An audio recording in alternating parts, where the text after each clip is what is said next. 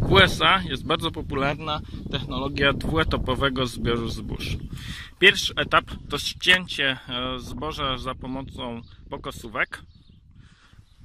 Zboże kilka dni leży w pokosach, dosycha. E, Następnie drugi etap e, to wymucenie. Stosuje się do kombajnów specjalne przystawki, ponieważ tradycyjne headery zbożowe się e, nie nadają. E, Jak wygląda taka przystawka, jak jest e, zbudowana? Mamy dwa przenośniki taśmowe. Pierwszy przenośnik taśmowy to przenośnik z elastycznymi plastikowymi zębami.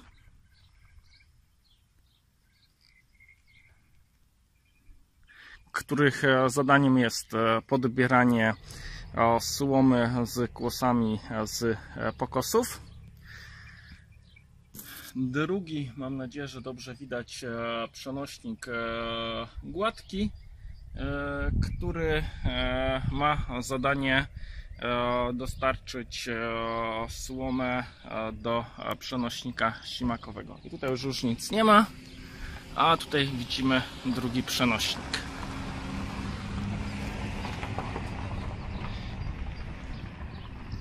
Jeszcze takie ogólne przejrzenie maszyny, jak to wygląda.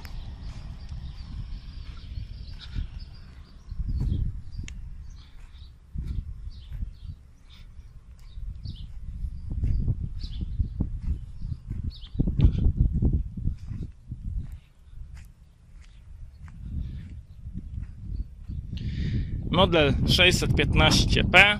Zapewne 15 to liczba e, stóp, czyli by oznaczało, że e, ta przystawka ma e, 4,5 metra szerokości roboczej i rzeczywiście e, tak e, wygląda. Jednak to nie oznacza, że e, zboże jest zbierane z szerokości 4,5 metra.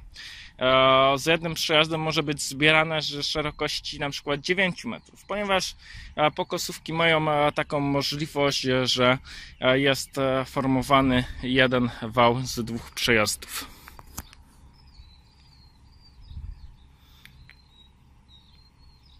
To by było na tyle na temat tego podbieracza. Pozdrawiam.